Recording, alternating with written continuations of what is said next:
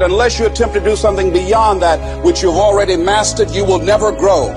What is it that you looked at at some point in time and you decided that you couldn't do it? That you talk yourself out of it? Whatever it is, bring it back out there. You have the ability to do things that you can't even begin to imagine. You have talents and skills in you that you haven't even begun to reach for yet. Practice only makes improvement. You can always better your best. You have not done your best work yet. Long as you're here, you have a chance to transcend yourself. You've got to be willing to do that. You've got to believe in yourself. You've got to decide to be bold. Most people go through life trying to creep. No, no, no.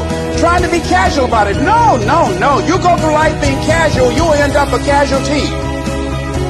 You've got to be bold in life. You've got to take life on.